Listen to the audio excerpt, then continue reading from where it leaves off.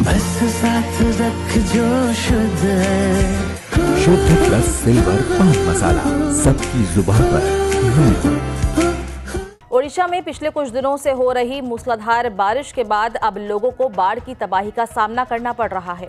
हज़ारों एकड़ खेत जलमग्न हो गए हैं जबकि शताधिक गाँव पानी के घेरे में हैं। 11,632 लोगों ने अपने घरों को छोड़कर सुरक्षित स्थानों पर शरण लेना शुरू कर दिया है। जिन्हें सरकार की तरफ़ से खाद्य पेय मुहैया कराई जा रही है। ये स्थिति प्रदेश के चार ज़िले, बालेश्वर, मयूरभंज, केंदुझर और सुंदरगढ़ में बनी हुई है। तैतीस प्रखंड के दो गाँव और दो नगर पालिका में बाढ़ के पानी के कारण लगभग चालीस हज़ार लोग प्रभावित हैं। बाढ़ की संगीन स्थिति को देखते हुए मुख्यमंत्री ने सबसे ज़्यादा प्रभावित बालेश्वर ज़िले का हवाई सर्वेक्षण भी किया। इसके साथ ही उन्होंने प्रभावित लोगों को तुरंत सहायता मुहैया कराने का निर्देश दिया। राज्य विशेष राहत आयुक्त के कार्यालय से प्राप्त जानकारी के अनुसार बालेश्वर ज़िले के बोगराई, बस्ता, जलेश्वर, बालेश्वर सदर और रेमुणा प्रखंड के 141 गाँव के पैंतीस पैंतीस हज़ार छह सौ चौवन लोग बाढ़ से प्रभावित हुए हैं। ग्यारह हज़ार छह सौ बत्तीस लोगों को सुरक्षित स्थानों पर पहुँचाया गया है और इक्यावन स्थानों पर मुफ़्त पका हुआ भोजन उपलब्ध कराया जा रहा है। आपको बता दें कि ज़िले में कुल बारह हज़ार छह सौ सत्ताईस पशु प्रभावित हुए हैं। 102 घरों को आंशिक रूप से नुकसान पहुँचा है। ज़िले के बाढ़ पीड़ितों को सत्रह दशमलव तीन क्विंटल चूड़ा, तीन दशमलव एक पाँच क्विंटल गुड़ और निन्यानवे पॉलिथीन बैग वितरित किए गए हैं। बाढ़ प्रभावित इलाकों में दो मेडिकल टीम और दो पशु चिकित्सा दल भी तैनात किए गए हैं। इसी तरह मयूरभंज ज़िले में बाढ़ का पानी घुसने से 22 प्रखंडों के 101 गाँव प्रभावित हुए हैं। बारीपदा नगरपालिका के 11 वार्ड में भी बाढ़ का पानी घुस गया है। ज़िले में 2035 लोग बाढ़ से प्रभावित हुए हैं, जबकि 1603 लोगों को सुरक्षित स्थानों पर पहुँचाया गया है।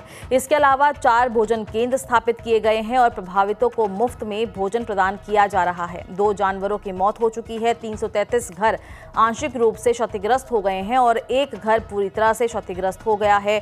केंदुझर ज़िले के पाँच प्रखंड पाटना चंपुआ, सहदपड़ा हाटटीही और हरिचंदनपुर प्रखंड के कुल 22 गाँव ऐसे हैं जहाँ बाढ़ से प्रभावित वो हुए हैं। बाढ़ से 1160 लोग प्रभावित हुए हैं। 35 घर आंशिक रूप से क्षतिग्रस्त हो गए हैं। वहीं सुंदरगढ़ ज़िले के एक ब्लॉक और राउरकेला नगर निगम में बाढ़ से कुल एक तिरपन लोग प्रभावित हुए हैं। प्रभावित लोगों को खाने के पैकेट उपलब्ध कराए गए और एसआरसी कार्यालय द्वारा जारी एक बयान के अनुसार बाढ़ प्रभावित इन जिलों में संभावित खतरे को देखते हुए बालेश्वर ज़िले में एनडीआरएफ की एक टीम, ओडीआरएफ की सात टीम और चार दमकल टीम भी तैनात कर दी गई है। इस तरह मयूरभंज ज़िले में पाँच, ओडीआरएफ और 12 फायर ब्रिगेड टीम और भद्रक में एनडीआरएफ की एक टीम तैनात कर दी गई है। आपको बता दें कि मंत्री, मुख्यमंत्री मांझी ने बालेश्वर ज़िले में बाढ़ की स्थिति का हवाई सर्वेक्षण करने के बाद समीक्षा बैठक भी की है। मुख्यमंत्री ने कहा कि बालेश्वर में बाढ़ के कारण छह प्रखंड प्रभावित हुए हैं और आठ हज़ार हेक्टेयर भूमि